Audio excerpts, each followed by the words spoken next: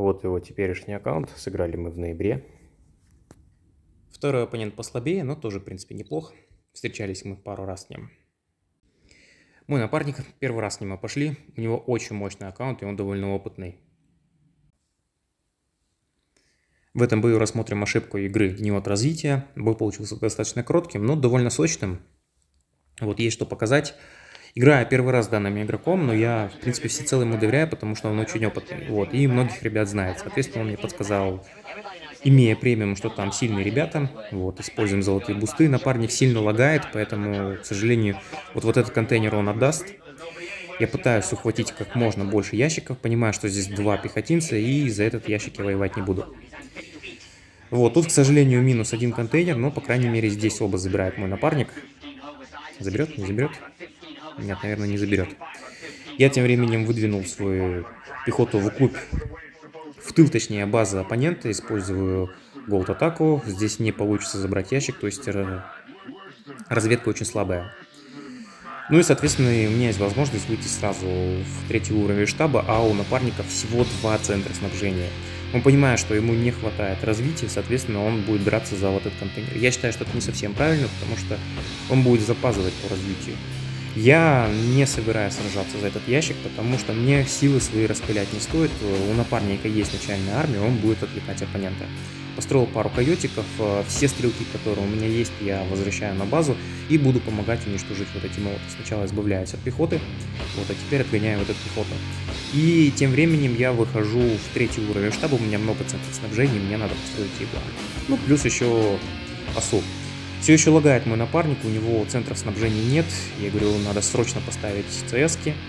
А, не ухожу с этого флага, чтобы не отдать этот контейнер. И как только подходит мой напарник, я отхожу, чтобы он имел возможность вложиться в экономику.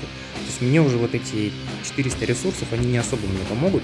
А вот а, для союзника это будет большой импакт в развитии. Приходит оса, в принципе, я ничего не скрываю. Я буду готовить а, героя, крота, для того, чтобы отбивать начальную армию, мне нужно несколько стрекоз. Попробую разменять стрекозы, напарник делает то же самое, то есть он идет помогать мне уничтожить пехоту оппонента, но здесь, к сожалению, тяжелой пехоты довольно много, то есть а, ну, невыгодно в этом месте сражаться. Я ничего не добьюсь, хотя можно было, конечно, избавиться от тайфуна, но опасно. Вот даже дикобраза не хотелось бы потерять, потому что четвертый уровень штаба я не смогу устроить дикобраза. То есть у меня накопится где-то штук 3, вот, и этого, в принципе, пока что будет достаточно. Мне надо уходить в следующий уровень штаба и уже улучшать этот завод. Здесь готовится Серафим. Надо готовиться, есть уже Цербер. Напарника база пустая. Я говорю, что что уничтожу противников. Вот. И говорю, что добавь стрелки.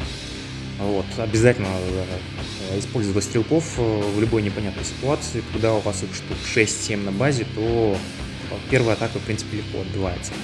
Вот, приходит, в принципе, герой, видимо, он не так хорошо прокачан, и у моего напарника очень высокая ветка, плюс я помогаю ему с стрекозами. За этот конкретный ящик я уже собираюсь драться, потому что я вполне уверен в свою армию, добавляю себе еще стрелков заранее, и, в принципе, все делаю правильно. Говорю также союзнику, чтобы он э, добавил стрелка, он нам понадобится, и двигаю всю свою армию уже на базу союзника. При этом я не буду терять свою осу и стрелков, мне надо, чтобы передняя линия вышла далеко от тайфунов. Тогда я смогу разменять свою армию именно на молотах, потому что э, оса, стрекозы, они наносят максимальный урон именно по броне второго типа. То есть это не по тяжелым танкам, а по средним. Вот, соответственно, это, по-моему, тайфуны и э, вот все еще есть у меня оса. Правда, мало хп, но тем не менее. Конечно, здесь плохой контроль, плюс э, есть э, ДЗК стрелков, есть какая-то вышка, вот, э, и у меня приближается на передней линии большое количество ягуаров, стрелков надо перенаправить вот сюда, буду я перенаправлять, и крота я выдвигаю как можно более ближе к противникам, чтобы выбить его юниты, которые будут отступать, потому что толку одного крота уже не будет в тылу, вот, есть стрекоза и оса, которые будут добивать юнитов при отходе. В принципе, все, что надо, я уже сделал. Вот, как я и говорил ранее, у меня нету дополнительного заказа дикобразов, то есть мне ни в коем случае их нельзя было терять, потому что я иду в туман и левиафан. Сейчас, когда у меня уже накопились ресурсы, я уже смогу добавить себе завод до дикобраза. Но пока что нужны именно большое количество ягуаров. Выстраиваюсь, нападаю без тумана, вот туман подошел. Как только прибудет большая часть зевсов, тогда уже можно будет включать туман. Все, включаю туман, закрываю свои ягуары, при этом э, пехотинцы находятся на передней линии и, в принципе, они могут впитывать урон. Подхожу, надо немного отступить и использовать Левиафан. Отлично, Левиафан не боится пехоты. Мне стоит перегруппироваться, но не останавливать натиск. Тем временем я добавляю себе еще один завод дикобраза, все по фэншую. Именно поэтому надо построить это штук 4 дикобраза до того, как вы выйдете в следующую штаба. Перегруппировываюсь, добавляю себе еще больше стрелков, я потерял их э, на первой атаке.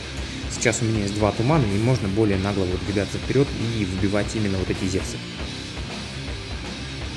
Ну а стрелки будут все равно наносить какой-никакой урон огнеметчикам.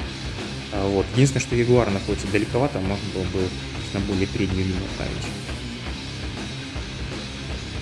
Все, подвожу чуть-чуть поближе Ягуара и буду фокусить вот эти зевсы. Крот впитывает урон, то есть в туман никто не стреляет. Ну и, соответственно, все, в принципе. На этом оппонент пробит. Все из-за того, что он не вышел в следующий уровень штаб. Нужно следить за картой, понимать, что ресурсов не так уж и много, и если один игрок идет в развитии, то вы уже не догоните его после вот такой вот отчаянной первой попытки.